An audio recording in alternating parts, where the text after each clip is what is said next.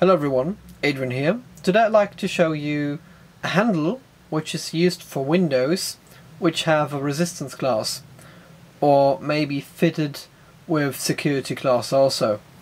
So this handle is being tested by the by the German VDS and um, has a security rating so it will withstand um, let's say certain physical attacks or physical attempts to open it or to to rip it off the frame of your window. So this handle is produced by a company called FSB and um, I wanted to show this handle because I think it, it has a very good quality and I like it very much. The only thing I do not like is that you can't change the cylinder here on the on on the handle. Um, you got three type of cylinders um, with three different keys or maybe four that you can choose. But um, yeah then you have the same key for all the cylinders okay? So you have only um, three or four key differs and this is a very very simple wafer lock. I mean it will do the trick because normally the bad guys are outside and you're inside and they normally can't get through the security glass to to handle to open the window. But this is just something I wanted to mention because I'd like to to have options here um, to, to fit it with some other cylinder which has maybe a high security. But therefore you you also have other handles which you can fit with a Euro profile half cylinder. But um, these handles um, are very ugly and I don't like them that much. Um, you can use them in, in hospitals and prisons of course but um, they are not meant to to be used at your private home. But this is a handle you can use at home and I think it's quite pretty.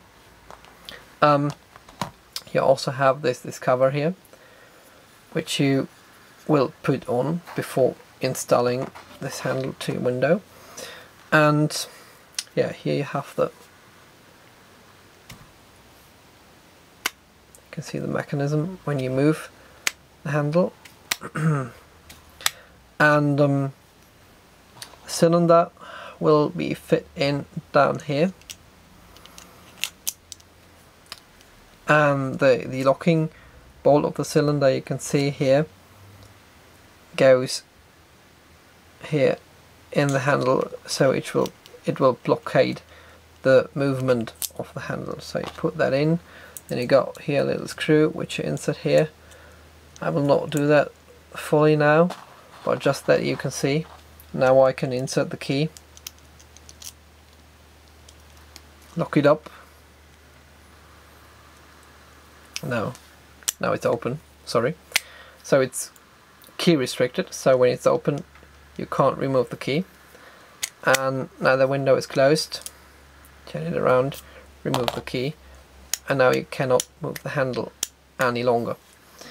One thing I also like very much is that you have the the screws for anchoring this handle are in two sizes. You have one which is a bit longer which will fixate the frame of the handle here to the frame of your window and the other one oh, of course you have to do this when the cylinder core is not in there and the other screw you put it through here and um, as you can see both mostly the same size but one will anchor it here and one will anchor it here inside of this steel or stainless steel handle. So, yeah, I like this very much. And I think it's it's a very good handle with a very good quality. Hope you enjoyed the video. And yeah, take care, have a nice day, see you later, bye bye.